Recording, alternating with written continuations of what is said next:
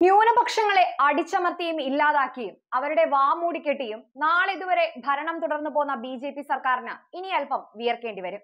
അതെ ന്യൂനപക്ഷ വിഭാഗത്തിന്റെ മതസ്വാതന്ത്ര്യത്തെ അടിച്ചമർത്തി ഭൂരിപക്ഷത്തെ സുഖിപ്പിച്ച് കീശയും വയറും നിറച്ച് നികൃഷ്ട ഭരണം കാഴ്ചവെച്ച കേന്ദ്ര സർക്കാരിന് അന്ത്ര അന്താരാഷ്ട്ര തലത്തിൽ പൂട്ടുവീഴാൻ ഒരുങ്ങുകയാണ്. ഇന്ത്യയിലെ മതസ്വാതന്ത്ര്യ പ്രശ്നം പരിശോധിക്കുമെന്ന് യു എസ് കമ്മീഷൻ നിലവിൽ അറിയിച്ചിരിക്കുകയാണ്.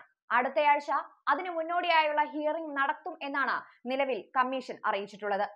കഴിഞ്ഞ ഒൻപത് വർഷക്കാലമായി ഇന്ത്യയിൽ ന്യൂനപക്ഷ വിഭാഗങ്ങൾ വലിയ തോതിൽ അമർച്ച ചെയ്യപ്പെടുകയാണ്.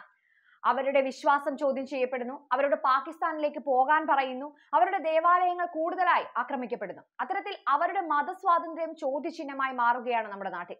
സി എ വിരുദ്ധ പ്രക്ഷോഭങ്ങളും തുടർന്നുണ്ടായ കലാപങ്ങളും പ്രശ്നങ്ങളും ഇന്നും കെട്ടടങ്ങാത്ത മണിപ്പൂർ കലാപവും അങ്ങിങ്ങായി പേടിച്ചു പേടിച്ചു ജീവിക്കേണ്ടുന്ന ന്യൂനപക്ഷ വിഭാഗങ്ങളുടെ സ്ഥിതിയും കണക്കിലെടുത്തുകൊണ്ടാണ് നിലവിൽ ഈ ഇടപെടൽ എന്ന് തന്നെ കണക്കാക്കേണ്ടതായുണ്ട്. ഇന്ത്യയിൽ മതസ്വാതന്ത്ര്യം നേരിടുന്ന വെല്ലുവിളികൾ പരിശോധിക്കുമെന്ന് അന്താരാഷ്ട്ര മതസ്വാതന്ത്ര്യത്തിനായുള്ള യു എസ് കമ്മീഷൻ നിലവിൽ അറിയിച്ചിരിക്കുകയാണ്. പരാതികൾ കേൾക്കുവാനായി അടുത്തയാഴ്ച ഇത് സംബന്ധിച്ചുള്ള ഹിയറിംഗ് നടത്തപ്പെടും. ഇന്ത്യയിൽ ന്യൂനപക്ഷങ്ങൾക്കെതിരായ അതിക്രമങ്ങൾ പരിഹരിക്കാൻ ഇന്ത്യൻ സർക്കാരുമായി ചേർന്ന് പ്രവർത്തിക്കാനാകുമോ എന്നാണ് പരിശോധിക്കുന്നതെന്ന് കമ്മീഷൻ തങ്ങളുടെ പ്രസ്താവനയിൽ പറഞ്ഞു വെക്കുകയുണ്ടായി.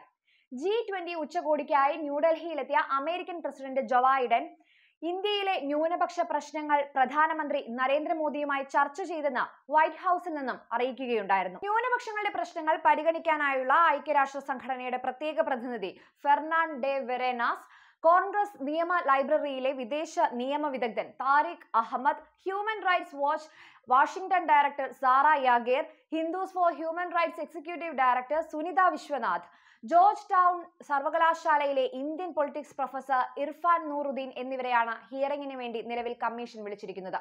മണിപ്പൂരിൽ ക്രിസ്ത്യൻ ന്യൂനപക്ഷങ്ങൾക്കെതിരെയും ഹരിയാനയിൽ മുസ്ലിങ്ങൾക്കെതിരെയും നടക്കുന്ന അതിക്രമങ്ങളുടെ പശ്ചാത്തലത്തിലാണ് ഹിയറിംഗ് എന്നാണ് നിലവിൽ പുറത്തുവരുന്ന റിപ്പോർട്ട്.